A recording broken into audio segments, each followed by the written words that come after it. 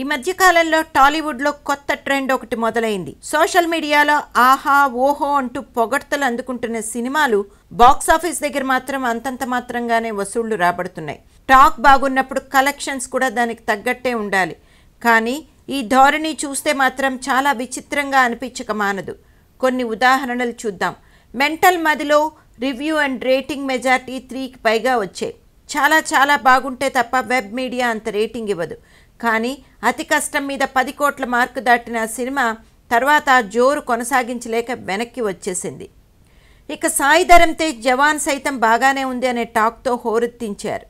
తీరా మూడు వారాలు ఆడటం కూడా కష్టంగా మారి ఈ రోజు నుంచి అమెజాన్ ప్రైమ్లో హెచ్డి వెర్షన్ రిలీజ్ అయిపోయింది.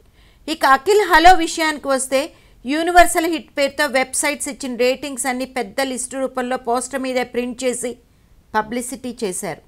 తీరా రియాలిటీ వైపు తొంగి చూస్తే కలెక్షన్స్లో విపరీతమైన డ్రాప్ ఉంది.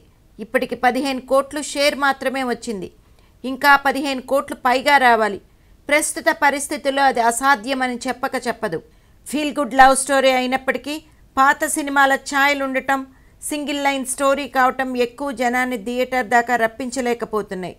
పెళ్ళి చూపులు కేవలం టాక్తోనే ఇరవై ఐదు కోట్లు దాటితే అర్జున్ రెడ్డి నలభైకి పైగా లాగాడు. ఇవి కూడా లో బడ్జెట్ సినిమాలే. సోషల్ మీడియాలో ఎంత ప్రమోట్ చేసుకున్నా బాక్స్ ఆఫీస్ దగ్గర మాత్రం భిన్నమైన ఫలితాన్ని చూస్తున్న కొన్ని సినిమాలను చూస్తుంటే కంటెంట్ బలంగా ఉంటే తప్ప కాసులు రాబట్టడం కష్టమని అర్థమైపోయింది. హిట్ అన్నారు వసూళ్ళు లేవి అంటున్నారు రాజకీయ విశ్లేషకులు.